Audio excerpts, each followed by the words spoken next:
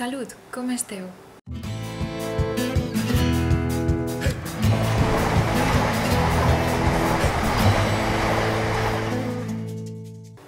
Si recordeu el que vam veure la setmana passada, ara ja hauríem fet el primer pas per aprendre a llegir el romanès, que és el d'aprendre l'alfabet. Hem parlat dels caràcters especials i hem conegut algunes paraules que ens han servit com a exemples de la pronunciació en romanès, de manera que, si practiquem, poquet a poquet podrem llegir amb més fluidesa i fer-ho cada vegada millor. Una altra cosa molt important que haurem d'aprendre si volem començar a gastar verbs construir oracions, presentar-nos o simplement comunicar-nos eficaçment són els pronoms personals, que són els següents. Lleu, tu, yel, ja, noi, voi, iei, iele. Una altra vegada.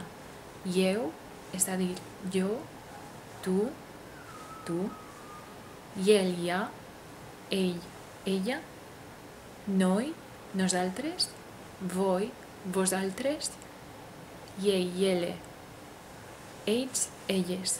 Recordeu que hi havia casos en què la E es pronunciava com una ye? Doncs així tenim uns molt bons exemples. Us he fixat en com he pronunciat els pronoms lleu, iel, ja, iei, iele? Us recomano que els repetiu unes quantes vegades. Si volem aconseguir que els pronoms personals se'ns queden a la memòria, no hi ha millor manera que utilitzar-los per conjugar un dels verbs més importants del romanès, el verb a fi, que es tradueix com ser o estar. Amb aquest verb podrem presentar-nos, explicar d'on venim, a què ens dediquem i com estem, entre moltes altres coses. Anem a veure com es pronuncia aquest verb en el temps present.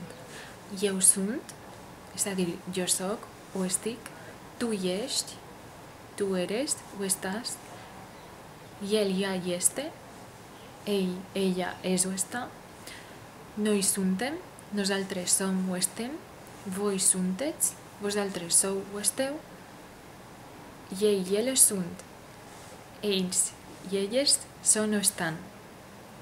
Una altra vegada, eu sunt, tu hi ets, i ell ja hi este, noi suntem, voi suntets, i ell i ele sunt. Fixeu-vos especialment en la pronunciació de llest i suntets. Noteu com la i del final quasi no se sent?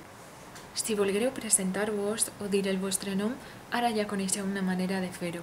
Podríeu dir lleu sunt o simplement sunt perquè el pronom no és necessari i el vostre nom. Per exemple, lleu sunt Olímpia. I si volguereu dir d'on sou? Bé, abans d'explicar-vos això, hauríem de saber com es diu on el romanès, veritat? El romanès on es diu unde. I si volem dir d'on, li afegim la preposició romanesa de.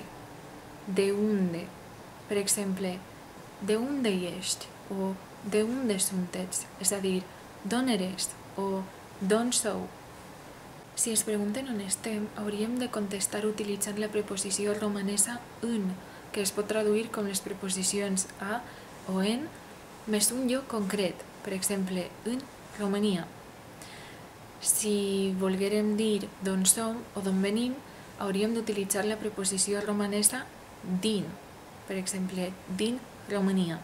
Aleshores, si ens preguntaren d'on ets, podríem contestar eu sunt din Romania o eu sunt din Spània. I si ens preguntaren hi ets, podríem dir eu sunt en Romania o eu sunt en Espanya.